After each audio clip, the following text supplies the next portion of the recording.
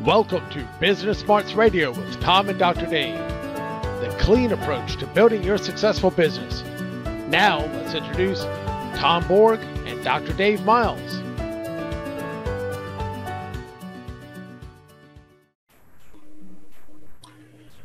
Welcome to Business Smarts Radio with Tom and Dr. Dave, where we bring you the clean approach to building your successful business. And by we, when we mean clean, we're not talking about spick and span and dust mops, although right now spick and span is a little tough to get a hold of at the store. We're talking about this podcast is all about clean, the clean approach to building a successful business.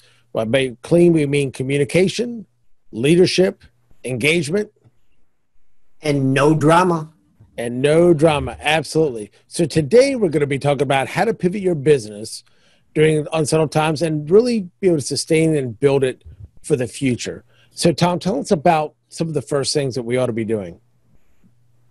Well, one of the first things I think we need to do is pay attention to one of the quotes from Eric Plasker, Dr. Eric Plasker. He said, We don't really fear change, but rather the uncertainty of how to deal with that change. And so it is with this business of COVID 19. I don't think we fear COVID 19 as much as we fear how we're going to cope with it, how we're going to work from home, how we're going to handle all the bills that might be coming in with that interrupted cash flow, how we're going to pay our employees. These are some of the things I believe that our listeners are going to deal with in a way that's going to allow them to be able to get through this successfully. So that's one of the things we need to work with. Now, some of the things I've got on my list here today in the first part of our broadcast that can help us cope. Three tips from Mr. Dale Carnegie. First one, okay. keep busy. Now is the time to get focused and to get busy on what we're doing. No, I would definitely agree with that. And there's a lot of people that are out there talking about now to make sure that if you have the time, to now is a good time mm-hmm. to start working, you know, uh, on your business if you can't work in your business, depending on you know what type of business that you are. And if you're at home, a lot of times this is the time that you know, hey, I'd love to be able to get to this or be able to do this project to be able to do X, Y, Z if I ever had the time. Well, if you have the time now, the time to start, like I said, doing that project, reading, uh, writing that book, being able to come up with that new product or that new service or then that new course that you weren't able to devote the time to before because you were running around so busy. So that's one silver lining to uh, the extra time if possible. Absolutely. And we're going to talk about some other ideas that they can do with this extra time that they've got to improve their business and to improve themselves, definitely. Second idea for us all here is to use the law of percentages to eliminate your worries. Now, that's another one from Dale Carnegie. He said that 92% of the worries that we have are of things that will never amount to anything or will never happen. So that's 92% of the things we worry about have already happened, or they do happen, nothing big came from it. So keep that perspective in mind. If we do some basic things right now, stay smart, stay safe, you know, be prudent about how you uh, carry on in your everyday life, working from home. If you have to go out, okay, be safe, be cautious there. So these are some basic things. Third one I want to mention here is decide how much a thing may be worth and refuse to give it more. That's the third rule from Mr. Dale Carnegie. So, okay, here we are, 2020, April, whatever it is, April uh, 18th that we're making this uh, program. Why don't we get serious about understanding the law of averages and realize that we just have to stay focused and move forward? And I think we'll find ourselves uh, staying away from all this worry and just focusing on what we can do productively right now. And I would agree with that. One of the things that you talked about before was, I mean, this thing obviously had a beginning. It's going to have a middle, and we maybe there it's going to have an end to it. And at some point, we're going to be coming out of this. We're going to be, you know, reopening the economy. We're going to be reopening society in general, slowly and cautiously. And the nice part is that you know, hopefully, people will you know adhere to the guidelines that would come out because everywhere is a little bit different. I mean, where you're at, if you're in the Washington D.C., New York City, Boston, you know, really highly dense area, you know, how that comes about is going to be a little bit different than being in a, a smaller town or a, a, more spread out, less dense community. You know, uh, you, you look at some of the curves that you've seen that, that are out there. You look at New York, New Jersey versus LA just because of the sprawl. I mean, it's you don't have the, mm-hmm. the density in the concentration, even though you still have the, the people there. So a lot of that's exactly. going to be different everywhere you're at.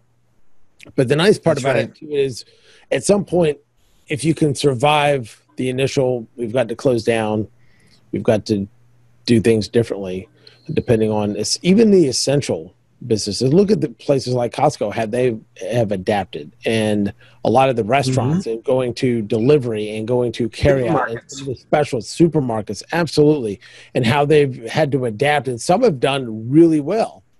We have a local pizza mm-hmm. shop here that okay, they still do takeout, but what can we do to keep our sales good, even though we can't really there's a lot of people that want to come and dine in. Well, they started creating pizza kits, like to take home and actually make the pizza at home with the kids. And so it makes it into a fun activity. Right. You can go buy the pizza kit and you can take it home. You can get it, carry out, drive through, that type of thing. Take it home and be able to do that with the kids, which has been a big success with them.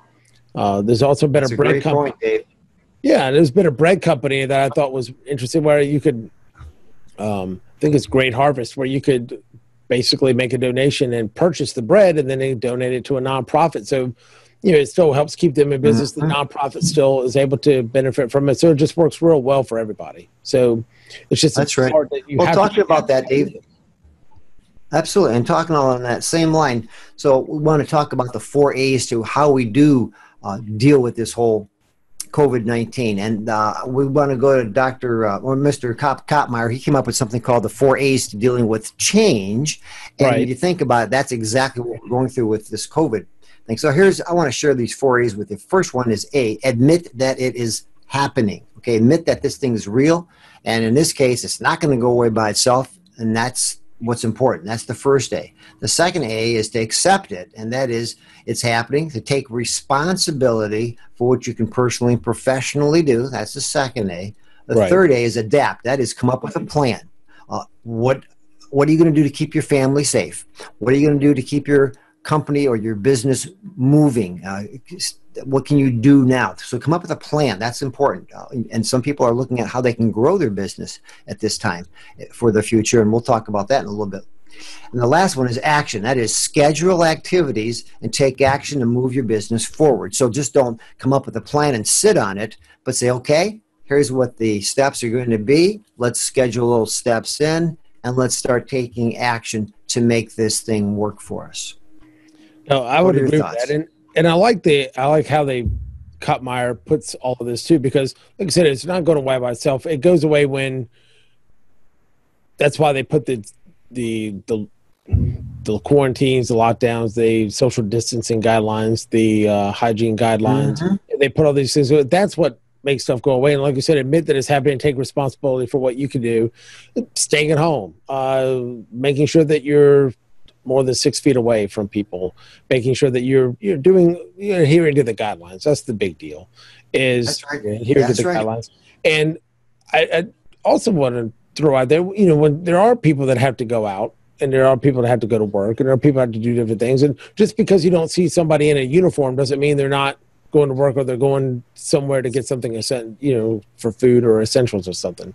So I don't right. think we want to get so wrapped up into everything that we want to get into a society that it, you know wants to rat out everybody because oh I saw him get in his car and go somewhere and he's supposed to be at home. Well, you don't you don't mm-hmm. know all mm-hmm. a lot of times just in general we don't know all the circumstances for everybody. So uh, so right. find out first. But you're right. Come up with a plan, and maybe that adaptation that plan is um, beyond the working from home or social distancing. You know what do we do? You know is there the the EIDL loans or the uh, from SBA or the PPP loans, and and at this particular time of the recording, they've stopped taking a lot of the applications because, yeah, you know they've they've shut all those down. But yeah, what and then what can you do um, to basically sustain and preserve what you have, and and those mm-hmm. things may be a part of it. But then, you know, what can you do as far as just like some of these other restaurants and these other businesses have really adapted and you know hopefully thriving during this or at least able to keep the doors open. That's the big thing. But how can they take some right. of the things that they're using right now to stay open and keep their people employed? How can they take that moving forward when we do reopen? And now it's just a new way of doing business right. that can make them uh, you know can work even better for them. Absolutely. Dave we're going to look in the future here for a moment. And there's going to be a lot of things that will be different as a result of this whole experience. And I believe there'll be businesses that'll be smarter.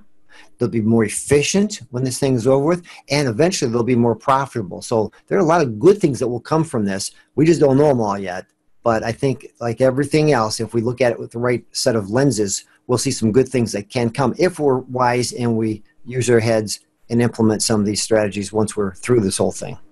And I would agree with that because I think so, if you think about from even from the 9/11 standpoint, and you think about the mm-hmm. new normal, if you if you ask somebody in 1998, do you ever think yeah. somebody would say, "Yeah, I'm gonna, I'm perfectly cool with taking my shoes off before I go on an airline"? They would look at mm. you like you were crazy. Nobody, right. nobody in this world is going to be. I'm not taking my belt off and my shoes off before I get on the airplane. You've lost your mind. But what do we do every day before all this? Yeah. Oh yeah. Don't even, the TSA so and the security. Yeah, don't even think twice. I mean, everything's in a. All of our you know, stuff's in a small bottle. You know, we've got. Mm-hmm. It just ends up being how it is. I mean, I think a lot of managers, a lot, a lot of leaders were not big on remote work, and they've seen with a lot of millennials, a lot of Gen Zs, and even a lot of Gen Xers that it's oh, yeah. really yeah, that's a big thing is doing is the remote work, and that's just it really helps with the work life balance part of it, and really being you know enjoy the the job. Now, granted, this is a little bit on the uh, extreme part of that, but you know, there's some people that didn't want to let go of that. You know, maybe they just uh, that mm-hmm. micromanaging tendency or whatever. But now look at it is they're having to do it they're having to figure out strategies mm-hmm. to work. And at that point, you're like, well, when things go back to quote unquote normal, maybe that's something that is a lot more, you know, we get more efficient and effective because what are the things that we can meet virtually and what are the things that we really do need to be in person for? Exactly. Exactly. Well, here's a couple more things I want to cover with our listeners today. Sure. The first one here is keep informed. So what we're meaning by that, and during this time, time of this recording here, late April, uh, it's important to keep informed, but don't be overwhelmed by the news media. I mean, you don't want to be glued to the to the your laptop all day long or your iPad. Get the news, get what you need to know, the updates, but then get back to work. Get focused on something productive. That's critical, I believe. Next on the list is if you're going to get information, go to sources you can trust. You're not going to see the greatest and latest and most valid information on Facebook, okay? People may mean well, but they are not necessarily putting out the accurate information. So make sure you go to the right sources. Uh, next, eight, remember when stuff happens. That's the way the world's always been. Right now, we're having some real big stuff that's happening, and that's one of those things we have to understand that we're going to need to take this whole thing seriously and then make some adjustments accordingly. That's very much a part of that. And here's another big one, Dave. I think our listeners need to tune into is if you're a business owner, if you're a manager or you're a president, you are going to have to set the example by the way you do the things you're asking your people to do. If you're asking them to be smart and to be safe, you need to be practicing that as well. Don't flaunt these guidelines that are put forth because it your actions speak a lot louder than your words. I know well, one of my clients would, right now doing yeah, that is job it, with that. He's, he's giving that, that, image right out there. Go ahead. Oh, one of my clients, he's uh, practicing oh, what he preaches. He's sharing with his his every week they do a a webinar and uh, where they're just educating everybody on what's going on with the company, how everybody's working from home, what's happening. But he's he's telling them, here's what I'm doing to stay safe and to stay smart with my family. So he's actually practicing what he's preaching. Go ahead. Nice. Well, and I honestly think that's something that a good leader should be doing all the time. Uh, this is just a you know a particularly important time to do that because I mean, really, anybody can you know keep the keep the ship sailing in the same direction in smooth seas. You know, when you have uh, right. times of crisis is when you really need strong leadership, and you know just to, to maintain a status quo when things are going well or fine but you know, you really should model the behavior you want other people to do you should be the example and be that kind of servant leader all the time and and the authenticity part of it is so important uh, i love that quote that um, craig Groeschel talks about on his podcast all the time and his leadership podcast he talks about you know people would rather work for somebody who's real than somebody who's always right mm. and being always real makes you can be wrong and you can make like mistakes, that. but you're real. You don't have to be always right. That's right. And That's they'll give, and your right. employees will give you some grace, but the, but when you tell them to do one thing and you're doing something else, you totally destroy that organizational trust and you destroy that credibility. So what else do you have? Absolutely. Right on the same mark with that, we need to be a good human being. And that is, don't discredit or blame others for the misfortune we're all experiencing. You know, it's easy to point fingers in a time of crisis, but what real leaders do is focus on what can we do to get out of this? What can we do to work together to come up with a solution? So that's critical. So that would be the end of that section. Next thing I'd like to focus on here with our listeners today is focusing on your team. What can you do with your company employees right now, your team members, your managers? So, here are a couple of tips. First, in the research conducted by Daniel Coyle, your employee wants three things from the business or organization they work for. They want to feel safe. Mhm. Number two, they want to feel connected. And number three, they want to share in a future.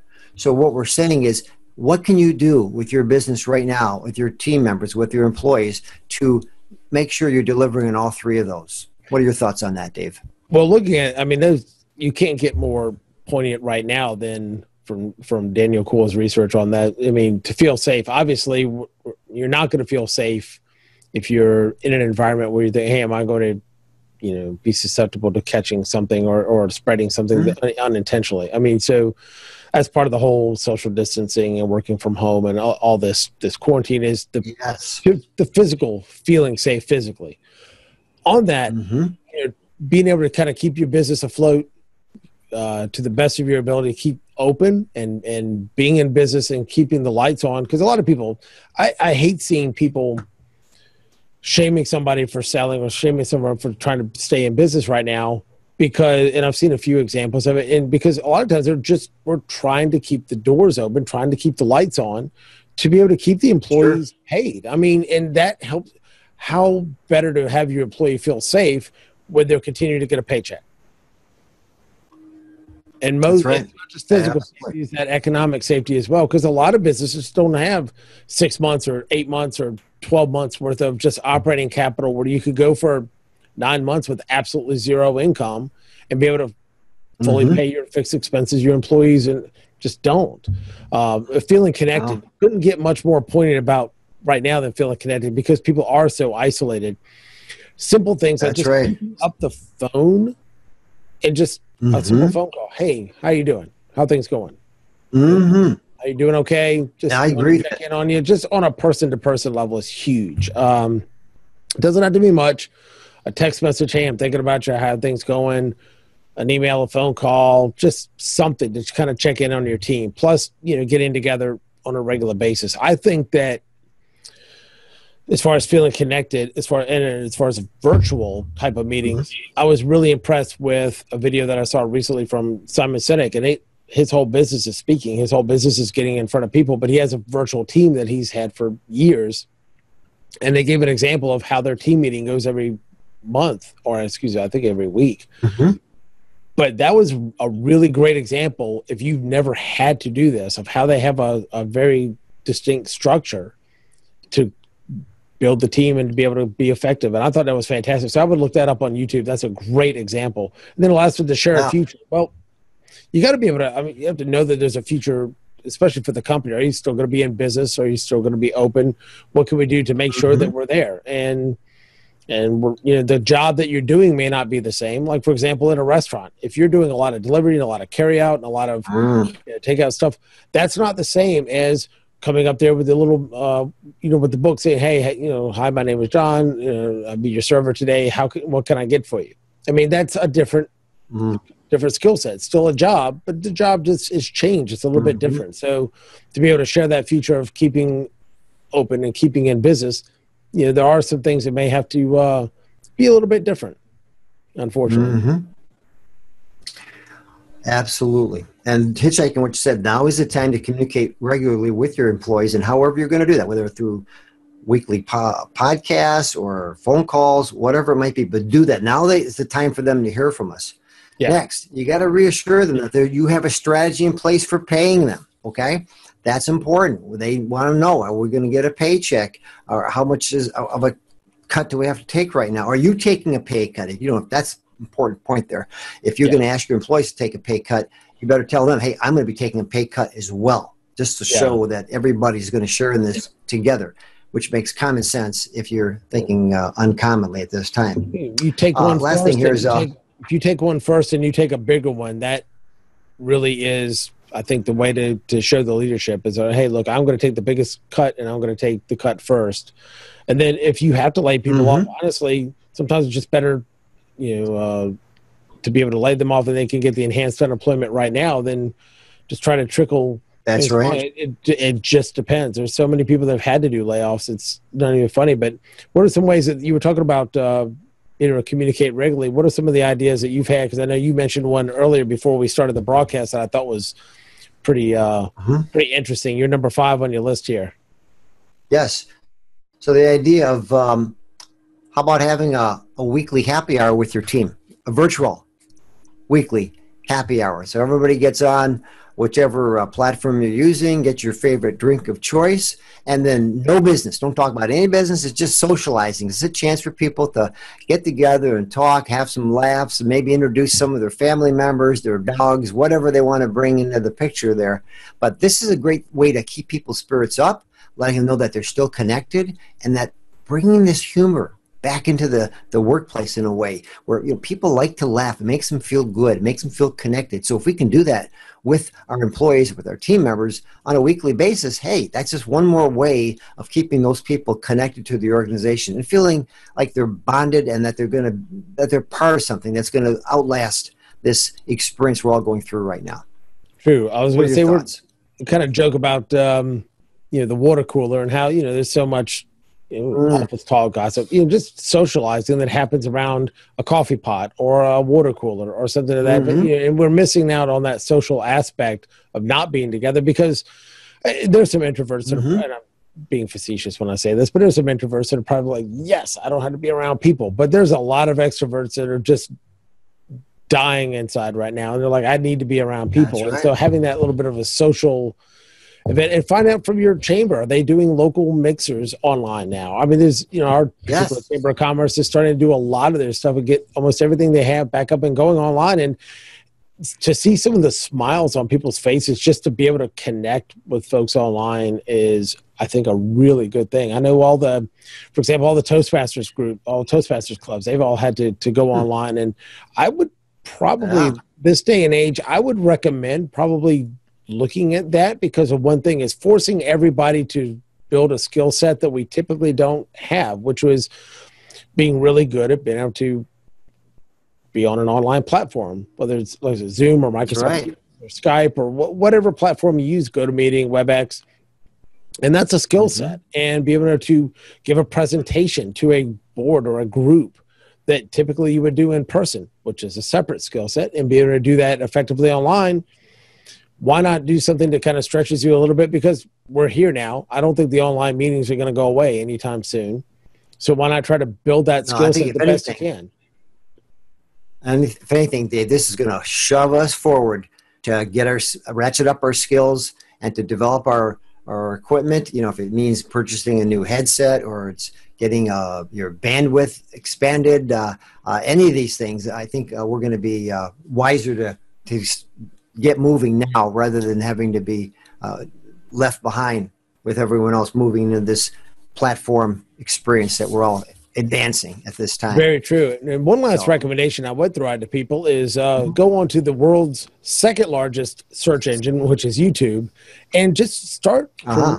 some of the just small three to five minute videos that are out there on how to look your best Yeah. and do your best in Zoom. Because we've all, if, if you're in the professional business realm, I'll put it this way, most of us have you know picked up either by design or by default you know certain norms that are acceptable in professional business. You know look acceptable. I mean comb your hair take a shower scrape your face. I mean just silly stuff. I mean we, we Mhm. joke about that all the time. We don't even think about it because it's so natural to come dress professional in a professional business environment depending on where you're at. Mhm. but they don't a lot of times we don't realize that when we're there at home how can we translate that to looking and sounding our best on a virtual platform just like we would around a conference room That's right. That's an important thing to do. There's tips on how to do that.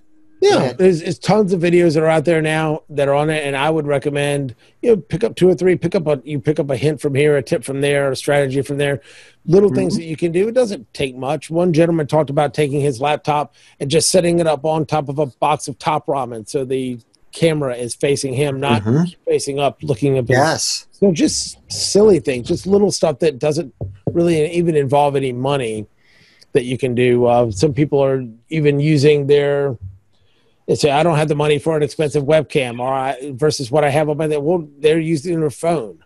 They're able to take their phone and actually use their and download an app and be able to use their phone as a webcam instead of, you know, if they they're all sold out or something like that. You know, they're, they're like, hey, you got a great mm-hmm. webcam here on your phone. So there's lots of cool things I think that can kind of force you to be a little bit more innovative and uh, you know, just kind of up the game a little bit. If if we're going to be here for a while, you might as well get used to it and get better at it. Absolutely, those are wise words, Dave. And I'll tell you, uh, it's so true. I've been on a couple calls recently where uh, there's a large group of people, and yeah, they need to do something about their backgrounds in terms of what people are seeing. Uh, you just can't uh, expect that it's it's okay to just let it all hang out. No, this is not the time for that to happen. You got to sharpen your professional image as you project yourself. So, Dave, at this point, uh, we, we, probably should summarize what we want to talk about today because I know there's lots more information. We'll, we can cover that in our next episode. But sure, why don't we summarize what we've talked about here today? Okay. Okay. Well, so, I what we've talked about. Go for it. Go ahead. All right. So, what we tried to share with our listeners here today is that, you know, first things first, and that is uh, we got to learn how to cope with this whole thing. It is going to have a middle it's going to have a beginning, a middle, and an end, as Dave mentioned earlier. And that's important to realize. We're going to get through this, but at the same time, you got to understand the four A's. That is, admit that it's happening, accept it, adapt. That is, get a plan, and then take some action. That's going to move you forward. It's going to help you make the best of this whole experience. Second on the list there is that we need to be able to work with our, our people. We need to communicate with them, let them know that we're here for them, uh, really allow them to feel connected, to feel safe, and feel that they're part of a company that's got a future. So this is important that we do that with our with our teams. And at the same time, we need to be able to just be aware that uh, this is something we need to uh, get better at doing. We need to just get better at running our businesses the best we can right now and to adapt it in any way, shape, or form to meet the needs of our, our clients and certainly to meet the needs of our employees as well. Absolutely. And like I said, there's, um, I like the idea of like communicating regularly with your people, like I said, doing something to bring yes. in some kind of an enhanced, like you said, that uh, virtual happy hour to have some kind of, you know, enhancing the social environment, just getting together and communicating on that, being real and being open with your employees, you know, communicating with them maybe more than you would before. Um, and just yes, remember absolutely. that that leaders lead through crisis. Leaders, it doesn't take a tremendous amount of leadership ability or communication skills to be able to just keep good times going on a steady keel when you know like i said calm winds and, and smooth seas. It's you know you takes the uh, experienced captain to be able to keep the ship in the right direction when you have these types of storms coming. So this is really where you want to make sure that your leadership and communication skills are as as good as they can be that you're communicating properly with your team that you know how best to communicate properly with the team. If you don't know that that may be something to sharpen those skills during this time because it may have been a great time to do that before but you know, there's not a time that I can think of that would be more important to be able to work very seamlessly and congruently with your team and to be able to communicate the best when you can't just go talk to them down the hallway.